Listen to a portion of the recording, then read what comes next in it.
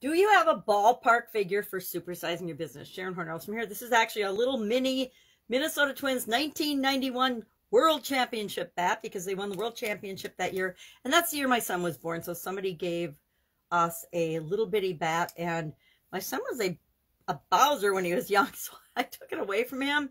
And then I let his daughter play with it for a little while. I decided that was not a good idea. So I'll give it back to him when he uh, or is looking for but it makes a great prop for my videos that have anything to do with ball playing or hitting the ball out of the park, things like that.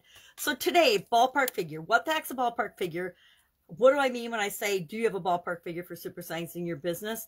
And what do we use ballpark figures uh, for? ballpark figures obviously come from the game of baseball when the commentators, each stadium has a set number of seats. At the beginning of a game or during a game, the commentator will estimate how many people are in attendance for the game that day on game day. So they'll estimate and give a ballpark figure, a guess or an estimate of how many people are in the stands.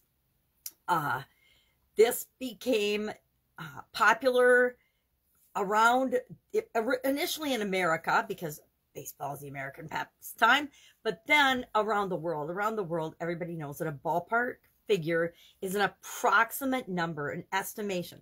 I think of everything in business for the most part ahead of time, projecting into the future is always a guess, an estimate, an approximation, a bid, a ballpark figure until we figure out what the actual costs are. And then it becomes the, the costs and our, our accounting records and things and our documentation of the processes that we followed, etc.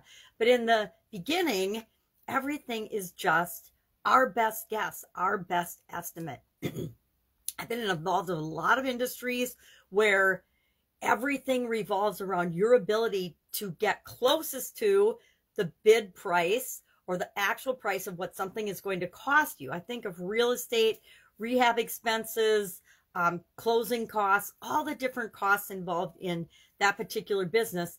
They're all ballpark figures, guesses, and estimates based on experience, based on comp to other properties, which are never comparing apples to apples.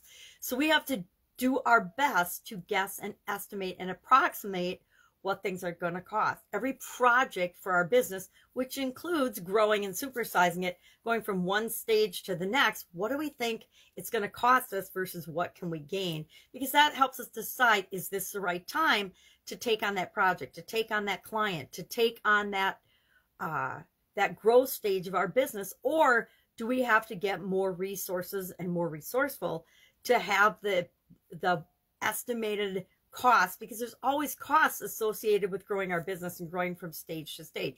Maybe it's increased marketing costs. Maybe we want to spend more on marketing to reach more people. Maybe we need to ramp up our production facility so that we can serve the people that we're reaching. Whatever it is for your business, for your industry, we're always making estimates and then finding out after the fact if our estimates, our approximations, our ballpark figures were correct or not. Uh, and I think based on experience, the more experience you get and the more formulas that you use and the more you test those formulas when it comes to things for your business. If you're in an estimation business where you do estimates and bids in order to get jobs and contracts and work, you start to get very, very good at making those estimates and making those projections and being competitive and, and you actually break it down. I I actually have worksheets and spreadsheets that I use to plug in the different numbers that give me the what what price will I offer for this piece of real estate, right? Things like that. And for whatever your industry is. Whenever I was doing and adding a new product line in the Italian food business, I would sit down and have to estimate and go through what are the raw materials going to cost? What how long is it going to take to produce and actually manufacture these products? How many uh, man hours or people hours is it going to take to create this product line? Who are we going to sell it to? Will the demand, what will the demand be, etc. And all of those were projections and, and guesses and estimates. But the better we do at that in our business, the faster and easier it is to help us grow and supersize that business. So I would love to know, have you heard, have you used ballpark figure? Guarantee I've used it at least a hundred times in my life and in my career. We usually say in corporate America, let's get an estimate or a bid or a rough estimate or an approximation.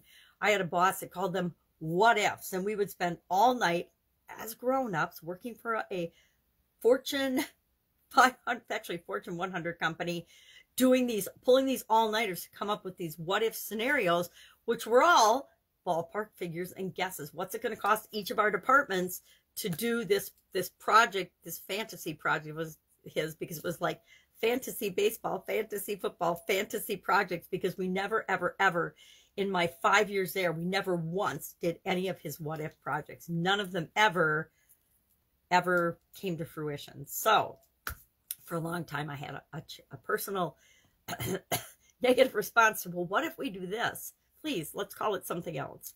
All right. Share in the comments below your experience with ballpark figures, and I will be with you tomorrow with another financial related idiom for the month of May. Ooh, happy Friday the 13th. Have an awesome day. If I can help you anyway, ask. Otherwise, I'll see you tomorrow.